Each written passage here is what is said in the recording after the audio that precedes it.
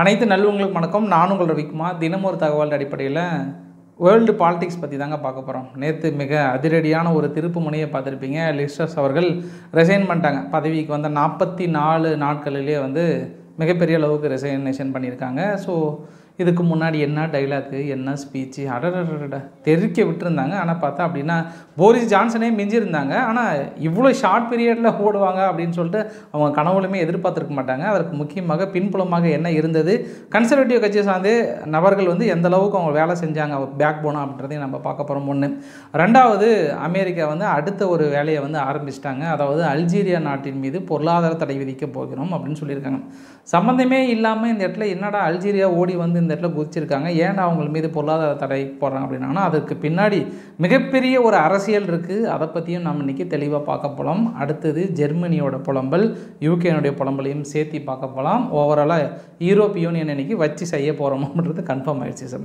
வீடியோக்குள்ளே பார்த்துக்கு முன்னாடி நீங்கள் நம்ம சேனல் சப்ஸ்கிரைப் பண்ணலாம். சப்ஸ்கிரைப் பண்ணிட்டாங்க மறக்காம பெல் பட்டனை கிளிக் பண்ண ஆப்ஷன்ஸ் கொடுங்க. வீடியோக்குள்ளே போகலாம்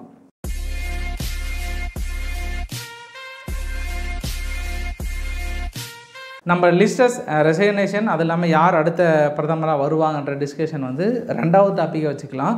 ஃபஸ்ட்டு டாபிக் அதை விட ரொம்ப ஒரு முக்கியமான சுவாரஸ்யமான ஒரு டாபிக் இருக்குது ஒருத்தர் வந்து ரொம்ப வெறித்தனமாக லவ் பண்ணாங்க அப்படின்னு நினச்சோங்களேன் அந்த பொண்ணு வந்து வேறு யாருக்கிட்டையுமே பேச விட மாட்டாங்க. அதாவது நான் வெறித்தனமான லவரை சொல்கிறேன் நான். மீதி சாதாரண லவர்லாம் நீ யாருக்கிட்டனாலும் கேஷுவலாக பேசுங்க அப்படின்னு சொல்லுவாங்க. ஆனால் அதே ரொம்ப பொசசிவ்னஸாக எனக்கு மட்டும்தான் வேணும் அப்படின்னு நினைக்கிற ஒரு நபர் வேறு யாருக்கிட்டையுமே பேச விட மாட்டாங்க. அதையே மீறி பேசுனாங்க அப்படின்னா அந்த பொண்ணுக்கே தெரியாமல் எந்த வகையெல்லாம் தடுக்கணும் எந்த வேலையினாலும் எந்த எல்லைக்குனாலும் சென்று தடுத்து விடுவார். ஓகேங்களா? அந்த அளவுக்கான ஒரு காதல் கதையை தான் இப்போ பார்க்க போகிறீங்க காதல் கதை அப்படின்னு உங்களுடைய மனசு வேறு எங்கேயோ போயிருப்பது. நான் நான் வந்து யூரோப் யூனியன் ப்ளஸ் அமெரிக்காவை பற்றி தாங்க சொல்ல போகிறேன் ஏன்னா அமெரிக்கா இன்றைக்கி காலையில் அவங்களோட காங்கிரஸ் கமிட்டி மீட்டிங்கை கூட்டி கிட்டத்தட்ட இருபத்தி ஆறு மெம்பர்ஸ் மேலே சைன் பண்ணியிருக்காங்க. அந்த சைனுக்கான இமேஜையும் பார்த்துக்கோங்க. அல்ஜீரியா மீது பொருளாதார தடை போடுகிறோம் அப்படின்னு சொல்லியிருக்காங்க. அவங்க கொடுக்கப்பட்ட விளக்கங்கள் என்ன அப்படின்னா எங்களுடைய சிஏஏஎஸ்டிஏ அந்த லா இருக்கு இல்லையா? அந்த லாவை வந்து மீறிட்டீங்க அப்படின்னு சொல்லியிருக்காங்க. இந்த சிஏஏ எஸ்டிஏ லா என்ன அப்படின்னா ஓவராலாக அமெரிக்காவை தவிர வெளிநாட்டுகளில் வியாபாரம் யாராவது செஞ்சாங்க அப்படின்னாங்கன்னா அந்த வியாபாரம் அமெரிக்காவை பாதிக்கும் பட்சத்தில் அவர்கள் மீது எந்த விதமான நடவடிக்கையும் எடுக்க தயங்கக்கூடாது என்பதற்காக உருவாக்கப்பட்ட ஒரு சட்டம் தான் இந்த சிஏஎஸ்டிஏ சரி இவங்க அல்ஜீரியா மீது வைக்கப்படுகிற குற்றச்சாட்டு என்னன்னா ரெண்டாயிரத்தி பதினேழுலேருந்து ரெண்டாயிரத்தி இருபத்தி ஒன்று வரைக்கும் ரஷ்யா கிட்ட இருந்து கிட்டத்தட்ட ஏழு பில்லியனுக்கான வெப்பனை வந்து வாங்கியிருக்கிறாங்க. அதனுடைய சார்ட் லிஸ்ட்டை பார்த்தீங்கன்னா தெரியும். தேர்டு பிளேஸில் இருக்கிறாங்க. ரஷ்யா கிட்ட அதிகமான வெப்பன் வாங்கின லிஸ்ட்டில் இருக்கிறாங்க. ஸோ அப்படி இருக்கும்போது இவங்க நம்மளுடைய சொல் பேச்சை கேட்கல. எல்லாத்தையும் தாண்டி எப்படி நீங்கள் ரஷ்யா கிட்ட வாங்கலான்னு சொல்லிட்டு இந்த தடை விதிக்கிறாங்க. அல்ஜீரியானுடைய பரிதாப நிலைமை என்ன அப்படின்னா ஏற்கனவே Congo Sudan Iran Libya Syria Argentina Sudan Venezuela இந்த லிஸ்ட்டில் வந்து போய் சேர்ந்துருக்காங்க. அதாவது ரொம்ப வறுமை மிகுந்த நாடாக இருக்குது. இப்போ தான் கொஞ்சம் கொஞ்சமாக ஏதோ ரஷ்யா மீது தடை விதிக்கிறதுனால கேஸ் அண்ட் ஆயிலை ஏற்றுமதி பண்ணி கொஞ்சம் பொழைச்சிக்கலாம் அப்படின்னு இருக்கிற இந்த சமயத்தில் திடீர்னு இப்படி ஒரு பொருளாதார தடையை அவங்க எதிர்பார்த்துருக்கவே மாட்டாங்க. கூடிய விரைவில் வந்து அதுக்கான தடைகள் வந்து முழுமையாக ஏற்றுக்கொள்ளப்படும் அப்படின்லாம் சொல்லியிருக்காங்க. சரி உங்களுக்கு இந்த இடத்துல கண்டிப்பாக ஒரு சந்தேகம் வரும் நான் ஏற்கனவே சொல்லப்பட்ட காதல் கதைக்கும் இந்த தடைக்கும் என்னப்பா சம்பந்தம் அப்படின்னு உங்களுக்குள்ளே குழம்பிச்சு அப்படின்னா அடுத்து நம்ம ட்விஸ்ட்டுக்கு போயிடலாம். ஆக்சுவலாக ஆஃப்ரிக்கா நாட்டோட நேச்சுரல் ரிசோர்ஸ் இந்த இமேஜில் பார்த்தீங்க அப்படின்னா அதில் டாப் லிஸ்ட் யார் இருக்கிறாங்கன்னா நைஜீரியா இருக்காங்க அல்ஜீரியா இருக்கிறாங்க அப்புறம் Mozambique Egypt Libya Angola Congo இவங்களாம் இருக்காங்களா? சரி ஓகே அதே மாதிரி Europe யூனியனுக்கு third largest exporter gas and oil யார் அப்படின்னா அவங்க அல்ஜீரியா தான். அதாவது அல்ஜீரியா வழியாக கொண்டு போடுகிற அந்த பைப்லைன் வழியாகவும் கொண்டு போயிட்டுருக்காங்க. இப்போ இருபத்தி ரெ எட்டு ஏழு ரெண்டாயிரத்தி இருபத்தி ரெண்டு அதாவது இருபத்தி எட்டு ஜூலை என்ன பண்ணியிருக்காங்க? யூரோப் யூனியனும் அல்ஜீரியாவும் சேர்ந்து ஒரு ஒப்பந்தம் போட்டிருக்காங்க. என்னென்னா இதுக்கப்புறம் நாங்கள் ரஷ்யா கேஸ் அண்ட் ஆயில் வாங்க போகிறதில்ல நீங்கள் தான் அதுக்கான முழு ஒத்துழைப்பு கொடுக்கணும். நீங்கள் வந்து எங்களுக்கு பைப்லைன் வழியாக கொடுக்கணும்னு இருக்காங்க. இந்த இடத்துல உங்களுக்கு இன்னொரு சந்தேகம் எப்படிப்பா பைப்லைன் போகும் அப்படின்னா இந்த இமேஜ் பாருங்கள் இது கீழேருந்து வரலாம். நைஜீரியாவிலேருந்து ஒரு ரெட் கலர் லைன் போதா? கீழே நைஜீரியா நைகர் அல்ஜீரியா வழியாக ஒரு பைப்லைன் அதாவது இதிலிருந்து ஒன்று வந்து இந்த பக்கம் கத்திரிப்பூ கலர் அப்படின்னு சொல்லுவாங்க. அது வந்து இட்டாலிக்கு போய் சேருதா? அப்படியே இந்த பக்கம் பார்த்தீங்கன்னா ஒரு மஞ்சள் கலரில் போயிட்டு ஸ்பெயினில் போய் சேருதா? அது இல்லாமல் இன்னொரு வழி பைப் லைனும் கொண்டு போகிறாங்களா இதில் வந்து இந்த மஞ்சள் கலர் லைன் இருக்கு இல்லையா? அந்த மஞ்சள் கலர் லைன் தான் வந்து அடுத்து புது விதமான ஒரு பாதையை வந்து உருவாக்க போகிறோம் அப்படின்ற மாதிரியும் சொல்லியிருக்காங்க. ஸோ இந்த பாதை வழியாக ஏற்கனவே கொண்டுட்டு போயிட்டுருக்கிற அதை வந்து இன்னும் கொஞ்சம் உருவாக்கி அதாவது அடிஷ்னலாக இன்னும் ஒரு நாலாயிரம் கிலோமீட்டருக்கான பைப்லைன் இந்த நாலாயிரம் கிலோமீட்டருக்கான பைப்லைனில் கிட்டத்தட்ட இந்த பதிமூணு பில்லியனுக்கான தொகைகளை எதுக்காக அப்படின்னாங்கன்னா இனி யூரோப் யூனியன் அல்ஜீரியா கிட்டேருந்து முழுமையாக இறக்குமதி செய்ய போகிறது. அப்போ வேண்டர் லியான் அவர்கள்? மிகப்பெரிய ஒரு டயலாக் ஒன்று சொன்னாங்க. அவ்வளோதான் இது வந்து கிரம்ப்ளினுக்கு மிகப்பெரிய ஒரு பதிலடி. அவங்க கனவுல கூட எதிர்பார்த்துருக்க மாட்டாங்க. யூரோப் யூனியன் இப்படி ஒரு மூவ் பண்ண போகுது அல்ஜீரியா கிட்டேருந்து வாங்க போகுது. அவ்வளோதான் காலி ரஷ்யா காலி. இனி இங்கே தான் எங்களுடைய முழு கொள்முதல் வாங்க போகிறோம் அப்படின்னு சொல்லிட்டு மிக பகிரங்கமான ஒரு அனௌன்ஸ்மெண்ட் எப்போ? இருபத்தி எட்டு ஜூலை. அடுத்தது பாருங்கள் பதினொன்று அக்டோபர் இன்றைக்கி என்ன பண்ணியிருக்காங்க? அல்ஜீரியா கிட்ட மீண்டும் யூரோப் யூனியன்லாம் ஒன்று சேர்ந்து ஒரு ரெக்வஸ்ட் வைக்கிறாங்க. அதாவது கேஸ் இன்னும் கொஞ்சம் அதிகமாக கொடுங்க. எங்களுக்கு பத்தலை.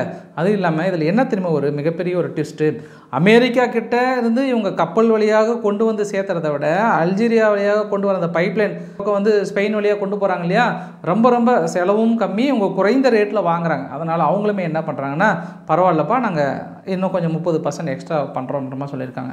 இது இல்லாமல் அதே அக்டோபர் மாதம் ஃப்ரான்ஸு ஸ்பெயின் போர்ச்சுகல் இவங்கெல்லாம் சேர்ந்து இன்னும் அடிஷ்னலாக முப்பத்தி மூணு பர்சன்ட்டுக்கான ஒப்பந்தம் சைன் பண்ணுறாங்க அதை விட இட்டாலியோட தேர்டு லார்ஜஸ்ட் இம்போர்ட்டர் யார் அப்படின்னா அதுவும் அல்ஜீரியா தான்.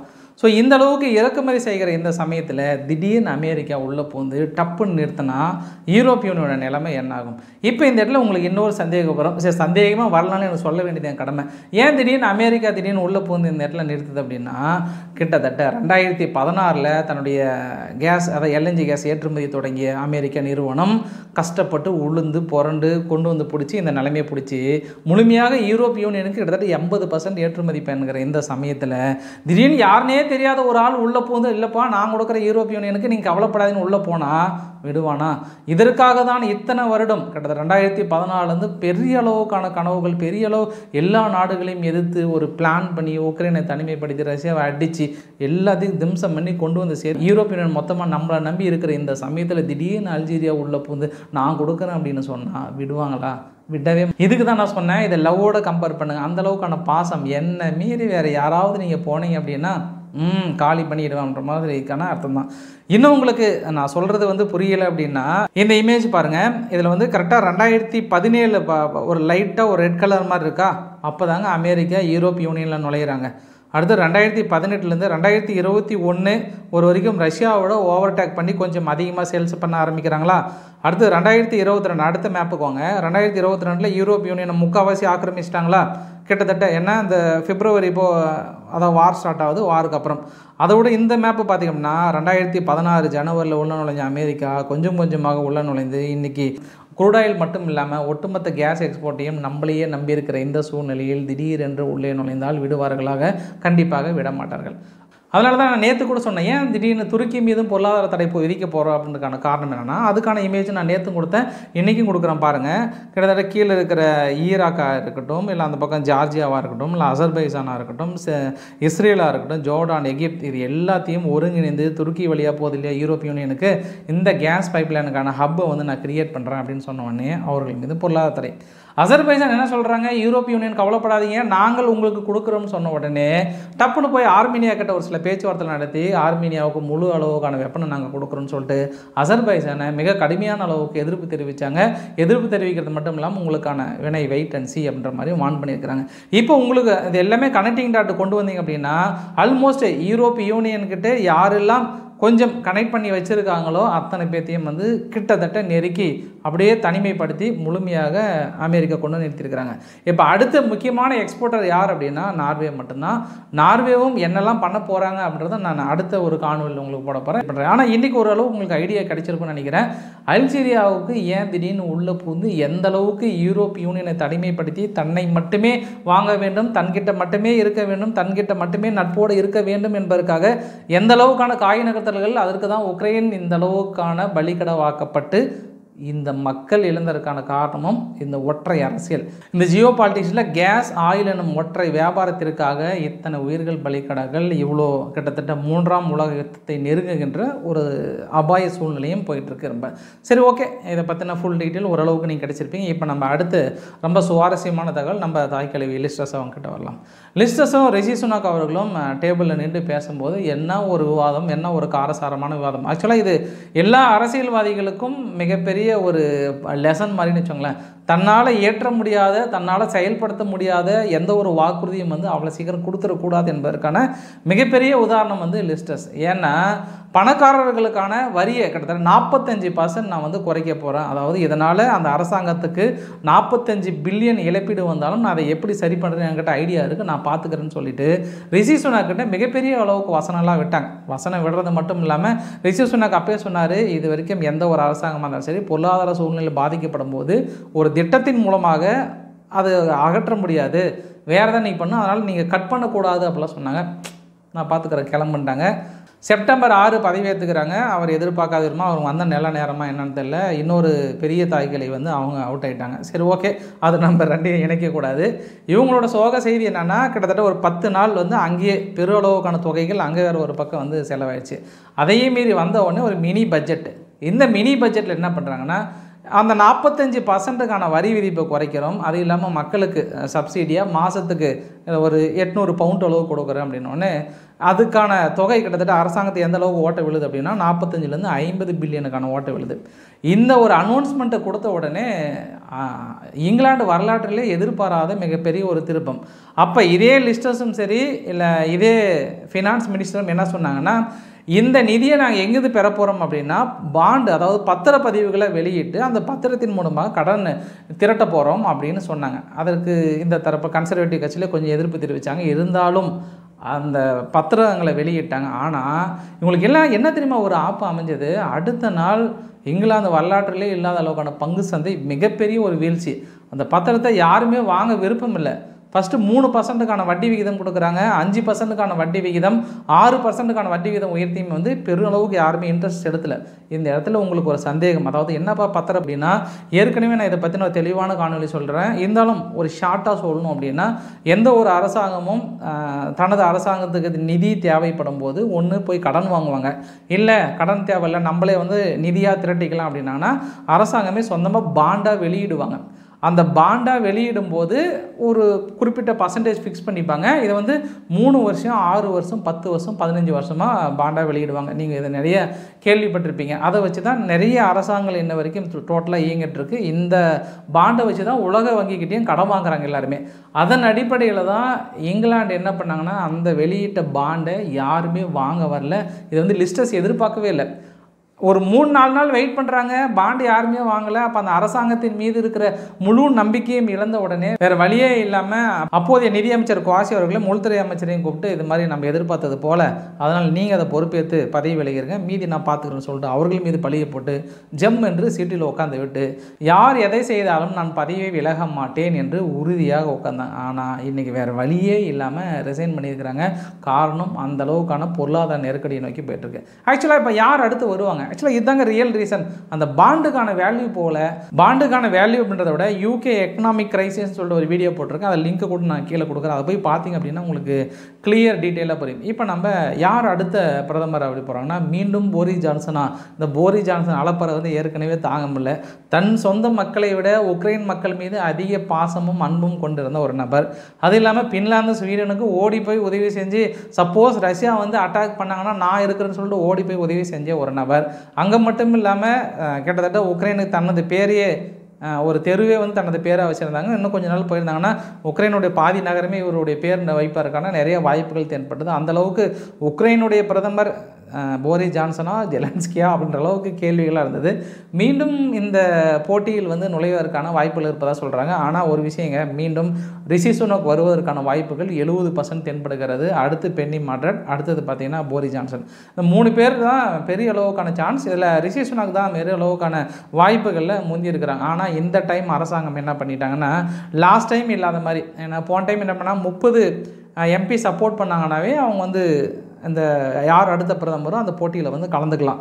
அதனால் என்ன பண்ணிட்டாங்கன்னா க- போன டைம் கிட்டத்தட்ட பத்து பேர் வந்துட்டாங்க. அந்த பத்து பேரில் எப்படி செலக்ட் பண்ணுறாங்கன்ற வீடியோ கூட போட்டிருந்தேன். இன்னும் கொஞ்சம் ஷார்ட்டாக சொல்லணும் அப்படின்னா பத்து பேரும் பிரதமராக தேர்ந்தெடுத்துட்டாங்க அப்படின்னாங்கன்னா வாரத்துக்கு ஒரு டைம் எலெக்ஷன் வைப்பாங்க. அந்த யார் குறைந்த ஓட்டு வாங்குகிறார்களோ அவர்களை வெளியேற்றப்பட்டு மீண்டும் இருக்கிறவங்க நிறுத்திப்பாங்க. அதன்படி கடைசி மூணு பேர் நின்றது யார் அப்படின்னா ரிஷி சுனாக் லிஸ்டர்ஸ் பென்னி மாட்ரட் இவங்க மூணு பேர் தான் கடைசியாக நின்றாங்க அதுக்கப்புறம் லாஸ்ட் ரெண்டு பேர் ஃபைனலாக ஜெயிச்சது லிஸ்டர்ஸ் அவர்கள். கிட்டத்தட்ட ஒரு ஏழு பர்சன்டேஜ் அளவு ஜெயிச்சாங்க. ஆனால் இந்த டைம் என்ன பண்ணிட்டாங்க? கன்சர்வேட்டிவ் கட்சி சார்ந்தவங்களே எந்த ஒரு எம்பிக்கு நூறு எம்பி ஆதரவு தெரிவிக்கிறார்களோ அவர்கள் மட்டுமே பிரதமர் பதவியில் போட்டியிட வேண்டும்.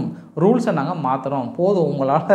சும்மா எல்லாருமே வந்து நான் போடுறேன் போட்டி போடுறேன்னு சொல்லிட்டு மீண்டும் மாத கணக்காக இழுத்தா இங்கே யூகே தாங்காது. யூகேயில் இருக்கிற மக்களே வெளியேறிடுவாங்க நாட்டை விட்டு. அப்புறம் நம்ம வெறும் நம்ம மட்டும் தான் ஆண்டுக்கு ஆண்டுட்டு இருக்கணும். அதனால் ரூல்ஸை மாற்றுறேன் கிட்டத்தட்ட ரெண்டே வாரம் அதாவது இன்றைக்கி ரெண்டு மணிக்கு ஓப்பன் பண்ணுறாங்க நாமினேஷனு திங்கக்கிழமை ரெண்டு மணிக்குள்ளே முடிக்கிறாங்க. அடுத்த ஒரே வாரத்தில் அந்த எலெக்ஷன் ப்ராசஸ் வைக்கிறாங்க. அடுத்த ஒரு வாரம் முடிஞ்ச உடனே யார் அடுத்த பிரதமர் என்று தேர்ந்தெடுக்கிறார்கள்? சிக விரைவாக. ஆனால் யார் என்ன தேர்ந்தெடுத்தாலும் இந்த ரஷ்யா உக்ரைன் வாரில் நீங்கள் உக்ரைன் பக்கம் நின்றீர்கள் என்றால் இல்லை வேறு வழியே இல்லாமல் அமெரிக்கா பக்கம் பேச்சை கேட்டு இந்த அளவுக்கு நின்றீர்கள் என்றால் நிச்சயம் உங்களை யாராலும் காற்ற காப்பாற்ற முடியாது. நீங்கள் என்ன திட்டம் கொண்டு வந்தாலும் சரி. இது மறுப்பதற்கு இல்லை இனி அடுத்தடுத்த ஆட்டம் ஒவ்வொரு சீட்டு கட்டுகளாக சரிய தொடங்க போகிறது என்பதற்கான மிகப்பெரிய ஒரு உதாரணம். அதே சமயத்தில் ரிஷி சுனாக் அவர்கள் இந்தியாவுக்கு சாதகமான ஒரு சில முடிவு எடுப்பார்கள் என்று இந்தியா சார்பாக இன்னும் நம்பப்படுகிறது என்பதை நான் இந்த இடத்துல கூற விரும்புகிறேன். ஏன்னா நிறைய டைம் பார்த்தீங்க அப்படின்னா அந்த டூர் கோவா அந்த மாதிரிலாம் போனீங்க அப்படின்னா நம்ம தமிழாலே கூட இருப்பாங்க. ஆனால் இருந்தால் கூட நம்மக்கிட்ட தமிழில் பேசவே மாட்டாங்க. அவங்க ஹிந்தியில் தான் பேசுவாங்க. கடைசி வரைக்கும் காட்டிக்கவே மாட்டாங்க. ஏன்னா அந்தளவுக்கு எத்துக்காட்டாங்க அதே மாதிரி தான் இங்கேருந்து போன ஆள் மீண்டும் இந்தியாவுக்கு சாதகமாக இருப்பார் என்று நம்ப நம்பலாம். ஆனால் அங்கே இருக்கிற சட்டத்திட்டங்களை மீறி என்ன மாதிரி நன்மைகள் கொடுக்க போகிறார் என்று பொறுத்திருந்து பார்க்கலாம். ஆனால் லிஸ்டர்ஸ் என்ன பண்ணிட்டாங்கன்னா அந்த ஃப்ரீ ட்ரேட் அக்ரிமெண்ட்டை கிட்டத்தட்ட சைன் ஆகி வர சமயத்தில் அவங்க போட மாட்டேன்னு சொல்லிட்டாங்க. பட் ரிஷி வந்து போடுறாரா இல்லையா அப்படின்றத நம்ம பொறுத்திருந்து பார்க்கலாம் நம்ம. அடுத்த அப்டேட் என்னென்னா ஜெர்மனியோட வேர்ல்ட்ஸ் கால்ஸ் வந்து தனது பாராளுமன்றத்தில் மிகப்பெரிய கடுமையான கண்டனம் தெரிவிக்கிறார் ரஷ்ய அதிபர் புட்டினுக்கு.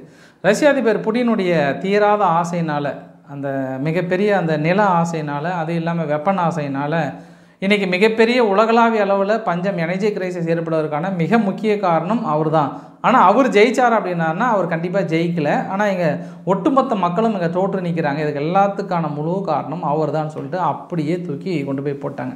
இதை மற்ற மீடியாக்கள்லாம் ஃபோக்கஸ் பண்ணி ஓகே அதுதான் காரணம்னு சொல்லப்பட்டாலும் நான் விட மாட்டேன். ஏன்னா வசனங்கள் இதெல்லாம். ஃபஸ்ட் வசனம் தெரியுமா? EU does not need Russian gas for this winter இந்த வின்டரில் ரஷ்யானுடைய கேஸ் எங்களுக்கு அவசியமே இல்லை அப்படின்னு சொல்லியிருக்காங்க. இது வந்து ஒரு டைம் ரெண்டு டைம் இல்லை. நிறைய டைம் எங்கே போனாலும் இதே தான் சொல்கிறாங்க சரி இவங்களாவது பரவாயில்ல. அடுத்து வந்து பைடன் என்ன தெரியுமா சொல்லியிருக்கிறாரு? அதாவது ரஷ்யா கேஸ் வந்து கட் கட் பண்ணுறதுனால யூரோப் யூனியனுக்கு பெரிய அளவுக்கான மன வருத்தங்கள் இல்லை ப்ரைஸ் எல்லாம் அதிகமானால் கூட அந்த அந்த ப்ரைஸை நான் பே பண்ணிக்கிறேன். அப்படின்னு சொன்னது யார்? அமெரிக்கா சொன்னாங்க. ஆனால் இன்றைக்கி அதுக்கான பே பண்ணுறாங்களான விட அதை விட பத்து மடங்கு அதிகமான அளவு கொடுக்குறாங்க. அதை விட குறைந்து கொடுக்குற அல்ஜீரியா மீது தடை விதிக்கிறீங்க. இவங்கெல்லாம் பண்ணுறது கரெக்டு விடுற வசனம்லாம் கரெக்டு மைக்கை கடிச்சா என்னென்னாலும் பேசுவாங்க. ஆனால் தன்னால் முடியல. கிட்டத்தட்ட பதவி விட்டு தூக்க போகிறாங்கன்னு தெரிஞ்சவொடனே இதுக்கெல்லாம் காரணம் அவர் தான் புட்டின் தான் காரணம்னு சொல்கிறது ஏன்னா இன்றைக்கி லிஸ்டர்ஸ் கூட இதே ஒரு காரணத்தை சொல்லியிருக்காங்க. இதுக்கான முழு காரணம் யார் என்றால் புட்டின் அவர்கள் தான் காரணம். அவர் தான் உள்ளே புந்து இந்த யூகே வந்து இப்படி சொதப்பி வச்சிருக்கிறாரு. யூரோப்பியை வந்து கிட்டத்தட்ட உடைய வச்சிருக்கிறாங்கன்னு சொல்லியிருக்காங்க. இட்டாலியோட பிரதமர் ட்ராகி அவர்கள் கடைசி தருணத்தில் ஒரு வார்த்தை சொல்லியிருக்கிறாரு.